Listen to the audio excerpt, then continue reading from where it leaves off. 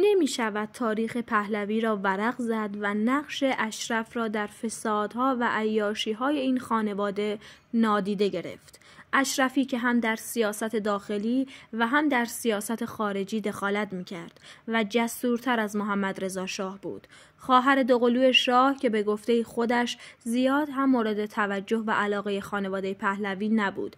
وقتی از بند سختگیری های رضاخان راحت شد به مفسدی تبدیل شد که حسین فردوست از آن با عنوان شیطانی به نام اشرف یاد می کند. اشرف از رضا شاه سیاستمدار بهتری بود و علاقه شدیدی که به پول و مرد داشت باعث شد آوازه فساد و عیاشیش بلند شود. با تبعید رضاخان از ایران اشرف پهلوی فرصت را غنیمت شمرد و وارد میدان سیاست شد سمتهای بسیار بالایی را در دست گرفت و قدرت مخفی زیادی برای خود دست و پا کرد اشرف شدیدا تشنه قدرت بود و برای دست یافتن به قدرت هر کاری که لازم بود انجام می‌داد. اوضاع سیاسی کشور در دوران پهلوی دوم به گونه ای بود که هر کسی می‌خواست به جایی برسد و یا خواهان پست و مقامی بود باید مورد تایید اشرف قرار می گرفت و سر و سری با او داشت. محمد رضا شاه هم تحت تاثیر سیاست اشرف بود و معمولا مخالفتی با او نداشت. اشرف مجالس شبانه برپا می کرد و شبنشینی های خود را به مکانی برای تبادل اخبار و اطلاعات سیاسی تبدیل کرده بود. شبنشینی هایی که در کنار عیاشی و میگساری مهمترین مسائل روز در آن محافل حل و فصل می شد. اشرف در انتخاب وزرا، سفیران و مقامهای دولتی نه به تحصیلات فرد نگاه می کرد و نه به شایستگی هایش. برای او ملاک انتخاب پول بود و در نهایت هر کس پول بیشتری پیشکش اشرف می کرد صاحب آن منصب می شد. فریده دیوانیز در کتاب خاطرات خود به این موضوع اشاره کرده است و نوشته اشرف در انتخاب وزرا، وکلای مجلس، سفرای ایران در خارج از کشور و حتی معاونان وزرا و مدیران کل دخالت می کرد و با گرفتن پولهای کلان پستهای نان آبدار را می فروخت. اشرف عاشق مهرپور تیمورتاش فرزند وزیر دربار رضاخان بود و روابطی با او داشت اما در نهایت به اجبار رضاخان با ابراهیم قوام ازدواج کرد ازدواجی که برای او فقط فرصتی بود تا از بند سختگیری های پدرش راحت شود او درباره ازدواجش اینطور نوشته شوهرم از این بیعلاقگی و یا از اینکه بین ما هیچ گونه محبتی وجود نداشت به هیچ وجه ناراحت نبود. چنین مینه بود که او به همین راضی است که رسما شوهر دختر شاه باشد. او کمترین توجهی به این نداشت که ما باید با هم زندگی زناشویی واقعی داشته باشیم. اشرف در کنار فعالیت های سیاسی و عیاشی هایش یک قاچاقچی مواد مخدر بود. تریاک و هروئین برایش پول کلان می آورد و این همان چیزی بود که اشرف می‌خواست. شایعه ها در این زمینه درباره او زیاد بود اما به تدریج دست او رو شد و مسئله قاچاق مواد مخدر علنی شد و در مطبوعات خارجی انعکاس یافت.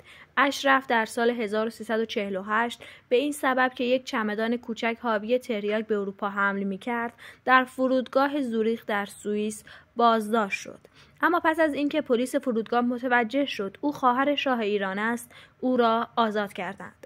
فردوس درباره اشرف می‌گوید اشرف قاچاقچی بین المللی بود و به طور مسجل عضو مافیای امریکا بود او هر جا که می‌رفت در یکی از چمدانهایش هروئین حمل می کرد و کسی هم جرأت نمی کرد آن را بازرسی کند.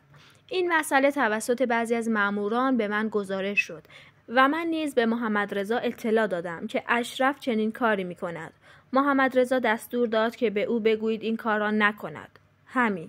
چه کسی به اشرف بگوید؟ من موقعی که خود محمد رضا نمی توانست یا نمی‌خواست جلوی اشرف را بگیرد من که بودم و چگونه می توانستم اشرف پهلوی می‌گوید قبل از من خواهر دوست داشتنیم شمس به دنیا آمده بود و حالا هم پسری متولد شده بود که رویاهای پدر و مادرم را برآورده می ساخت. این حقیقت که من در همان روزی متولد شده بودم که محمد رضا شاه پهلوی ولیعهد و شاه آینده ایران به دنیا آمده بود همیشه این فکر را در من تقویت می کرد که هرگز نباید از پدر و مادرم انتظار داشته باشم محبت و علاقه مخصوصی نسبت به من اظهار نمایند. اشرف در سال 1298 درست پنج ساعت بعد از محمد رضا شاه به دنیا آمد. بسیاری عقیده دارند خصوصیات اخلاقی اشرف مثل تحور، شجاعت، بیپروایی و سیاست بازی بیشتر شبیه شاهان بود تا محمد رضا که داره شخصیتی ضعیف و متزلزل بود و به هنگام مشکلات از گرفتن تصمیم های سرنوشت ساز عاجز می ماند. تولد دو فرزند برای رضا شاه بسیار خوشیوم بود. در دو سالگی اشرف و محمد رضا کودتای سوم اسفند رخ داد و رضا شاه سردار سپه شد. در سال 1302 و در چهار سالگی آنها رضا شاه نخست وزیر شد و در شش سالگی دوقلوها رضا شاه تاج پادشاهی به سر گذاشت. اشرف در مدرسه زرتشتی ها درس خواند و در خانه زیر نظر مادام عرفه زبان فرانسوی آموخت. مادام عرفه بود که عشق پاریس را در دل اشرف زنده کرد. اشرف عاشق رمان‌های عاشقانه فرانسوی بود.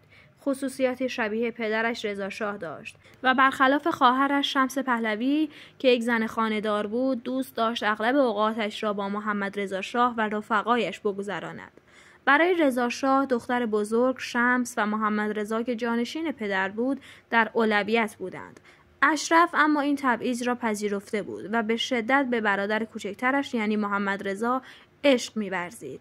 او برخلاف محمد رضا اهل سرکشی بود. اشرف در کتاب خاطراتش درباره این روحیه ماجراجو و سرکش خود گفته است ضعیف بودم. روزگار ناچارم کرد بجنگم از اول با اهل خانه و بعد با پدر که هنوز جای سیلیش در گوشم صدا می کند و بعد با همه جهان. من فقط با خود عهد کردم با یکی نجنگم و او هم قدیمی ترین آشنای من بود از قبل از تولد دوستش داشتم. حاضر بودم برایش کشته شوم. بعد از فرستادن محمد رضا به سوئیس، اشرف نیز همراه مادرش به سوئیس رفت و با اروپا و فرهنگ غربی آشنا شد. او از خود جسارت به خرج داد و برای پدر نوشت که علاقمند است در سوئیس بماند و ادامه تحصیل بدهد. پاسخ رضا شاه اما محکم و قاطعانه بود. این حرفها به تو نیامده. زود به ایران بازگرد. این پاسخ قاطعانه دومین ضربه روحی را به اشرف وارد آورد و او متوجه شد به دلیل زن بودن حق دارد تا آنجایی رشد کند که مردان از او می‌خواهند بعد از بازگشت به ایران رضا شاه تصمیم گرفت او و شمس را شوهر دهد برای آنها دو نفر را برگزید فریدون جمع و علی محمد قوام فریدون جمع فرزند نخست وزیر وقت محمود جمع بود نظامی خوشپوش و خوشقیافه‌ای که دختران زیادی آرزوی ازدواج با او را داشتند.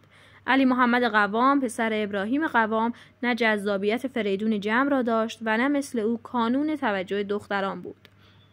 اشرف در کتاب خاطرات خود درباره ازدواج اولش می نویسد پدرم ما را صدا کرد و گفت موقع ازدواجتان است و دو نفر برای شما در نظر گرفته شده است اما چون شمس خواهر بزرگتر است انتخاب اول با اوست و دومی هم نصیب تو خواهد شد شمس فریدون جمع را انتخاب کرد و علی محمد قوام هم سهم اشرف شد اشرف در خاطرات خود می نویسد من از همان اول از علی قوام بدم می آمد.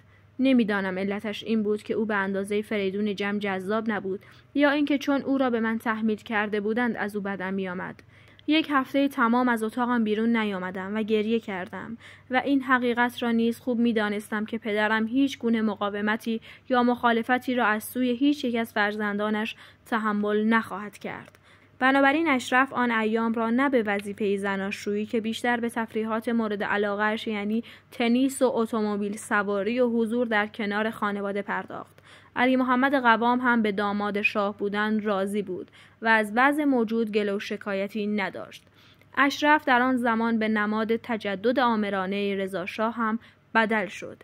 چه که او بود که برای اولین بار در سال 1314 به صورت بیهجاب در مراسم فارغ و تحصیلی دانشسرای عالی شرکت کرد. با ازدواج محمد رضا با فوزیه روابط نزدیکی با همسر ولیعهد برقرار کرد. فوزیه از او خواست که با هم بچه دار شوند تا فرزندان هر دو در کنار هم رشد کنند. حاصل این تصمیم به دنیا آمدن پسرش شهران بود که علی محمد قوام حتی حاضر نشد برای دیدارش به بیمارستان بیاید.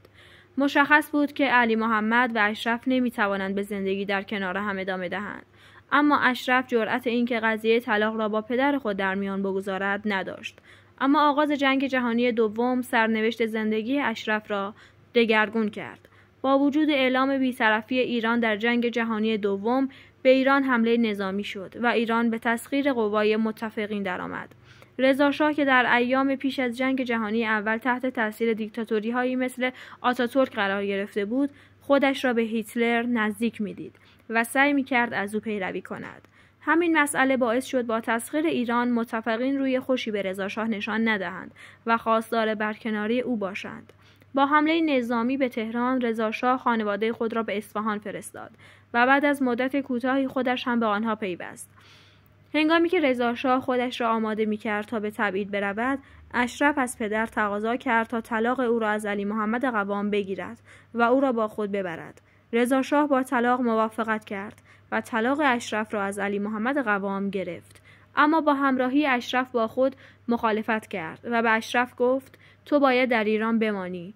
برادرت تنها نباشد او به تو بیشتر نیاز دارد سالهای اولیه حکومت محمد رضا شاه پهلوی همراه به آشفتگی و هرج و مرج بود.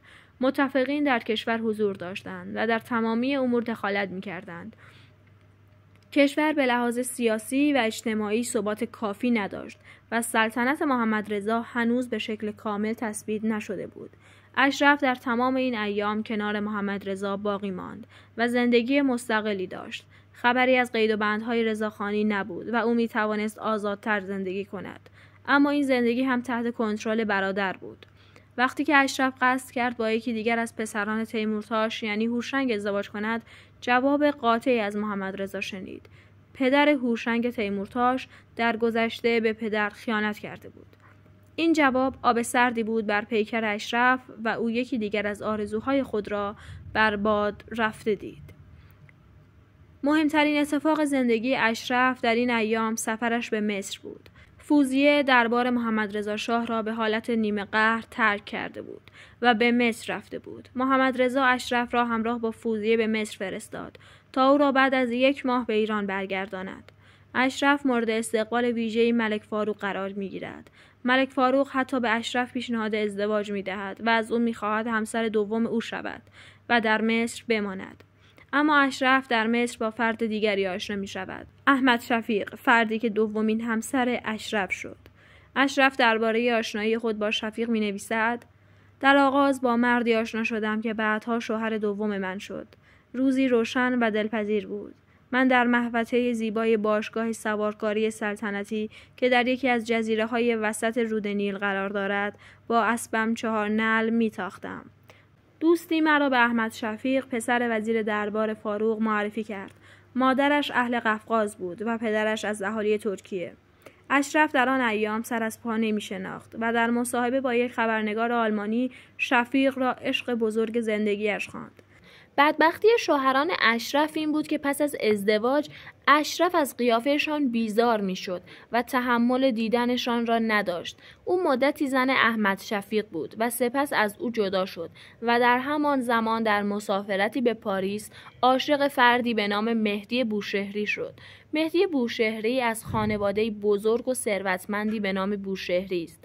اشرف عاشق این پسر شد و با اصرار به محمد رضا گفت که حتما باید با او ازدواج کنم. محمد رضا موافقت کرد ولی پس از یک سال از بوشهری بیزار شد و به او گفت که دیگر تحمل ریختت را ندارم و اینجاها نباش. بوشهری زرنگ بود و هرچند اسمن شوهر اشرف بود ولی کاری به کار او نداشت و رهایش کرد و اشرف این وضع را پسندید. بوشهری با این تمهید تا انقلاب شوهر اشرف ماند و تصور می کنم هنوز نیز شوهر اسمیش باشد. اشرف از بوشهری فرزندی ندارد. و اگر بخواهم در زمینه روابط جنسی اشرف وارد جزئیات بشوم مفصل خواهد بود و لذا فقط به مهمترین موارد می‌پردازم. در دوران رضاخان که اشرف ازدواج نکرده بود از نظر جنسی کاملا سالم بود. او مانند هر دختری عاشق می‌شد ولی فقط در همین حد. ولی پس از رفتن رضاشاه او روابط بیبند و بار و از نظر فساد کم مانندی شروع کرد. اگر قرار شود لیست مردانی که در دوران 37 ساله سلطنت محمد رضا با اشرف رابطه داشتن تهیه شود. علیرغم دشواری و غیر ممکن بودن کار چون حتی خود او نیز ممکن است همه را به یاد نیاورد. مسلما لیست طویلی خواهد شد. در زمان فوزیه مدتی اشرف مشروقه تقی امامی شد. در مسافرت به مصر مدتی با ملک فاروق بود. در سالهای سی و یک تا سی و دو که در پاریس بودم و به دیدار اشرف می رفتم می دیدم که با سه مرد رفیق است. دو نفر اهل پاریس بودند و یکی افسر جوان اهل یوگسلاوی بود که گویا آجودان شاه یوگسلاوی بوده و به فرانسه پناهنده و طبعه شده بود و احتمالا بی ارتباط با سرویس های جاسوسی نبود. اینها همه یک صدم ماجرای اشرف هم نیست و تنها عمده ترین مواردی است که اکنون در ذهن دارم. در زمینه مالی نیز کارهای عجیب اشرف دست کمی از مسائل جنسی او نداشت. او به هیچ چیز بیش از مرد و پول علاقه نداشت و در این راه تا به دانجا رفته بود که علنا سر برادرش محمد رضا کلاه میگذاشت. اشرف رسما پول می‌گرفت و شغل می‌داد. از وکالت تا وزارت و سفارت و هیچ ابایی هم نداشت. سپس دستور می‌داد که در زمان اشتغالت هر کار می‌خواهی بکن و اینقدر به من بده یکی از منابع مهم درآمد اشرف بلیط های بخت آزمایی بود که ماهیانه چهار الا پنج میلیون تومان حق الحساب می گرفت. در این مسئله من مدرک داشتم و به محمد رضا هم گزارش کردم و البته او طبق معمول اهمیتی نداد. اشرف یک قمارباز حرفه‌ای در حد اعلا بود و قماربازهای حرفه‌ای را جمع می کرد و وارد محفل خصوصی محمد رضا می کرد. در تاریخ زنان فاسد جهان مثل اشرف یا نیست و یا نادر است. معتاد، قاچاقچی مواد مخدر، عضو مافیای امریکا، بیمار جنسی و زنی که به قول خودش اگر هر شب یک مرد تازه نبیند خوابش نمی‌برد. او دارای ثروت تخمینی 700 میلیون دلار بود. او به هنگام مرگ 5 میلیون دلار پول نقد در بانک، جواهراتی با ارزش دهها میلیون دلار و املاکی در فرانسه، کالیفرنیا، کلرادو، نیویورک و سینت مارتن در کارائیب داشت. پس از تبعید به امریکا اشرف در ویلای در ژوان لوپن در نیس فرانسه و منزل خود در شماره 29 بیکمن پلیس در منحتن نیویورک سیتی اقامت داشت این خانه هشت طبقه بود که دارای یک سرداب شراب یک تالار زیافت و هشت شومینه هیزومی بود در سال 2014 با قیمتی بالغ بر 49 میلیون دلار رکورددار گرانترین خانه ها در نیویورک منطقه جنوب پارک مرکزی بوده است. اشرف پهلوی در 17 دی ماه 1394 خورشیدی در منطقه مونت کارلو واقع در شاهزاده نشین موناکو به دلیل کهولت سن و به مرگ طبیعی درگذشت. اشرف پهلوی خواهر دوقلوی محمد رضا شاه پهلوی و یکی از پرهاشیه ترین اعضای این خاندان بود. شایعات زیادی درباره زندگی اشرف وجود دارد. از متهم کردن او به فسادهای مالی و اخلاقی تا در دست داشتن کارتلهای مواد مخدر اما موافقان اشرف پهلوی اعتقاد دارند وارد کردن این اتهامات به اشرف پهلوی به خاطر زن بودن اوست با این حال باید پذیرفت که زندگی خصوصی و سیاسی اشرف پهلوی در حالی از ابهام قرار داشته. به شکلی که دوران حیات او محملی برای ساختن افسانه ها و روایت های قلوب شده ایرانی شده است. ضعیف بودم. روزگار ناچارم کرد بجنگم. از اول با اهل خانه و بعد با پدر که هنوز جای سیلیش در گوشم صدا می کند و بعد با همه جهان. من فقط با خود عهد کردم با یکی نجنگم. و او هم قدیمی ترین آشنای من بود. از قبل از تولد دوستش داشتم. حاضر بودم برایش کشته شوم. ممنونم از اینکه تا اینجای ویدیو رو تماشا کردید. لطفا نظرتون رو راجع به این ویدیو برامون بنویسید.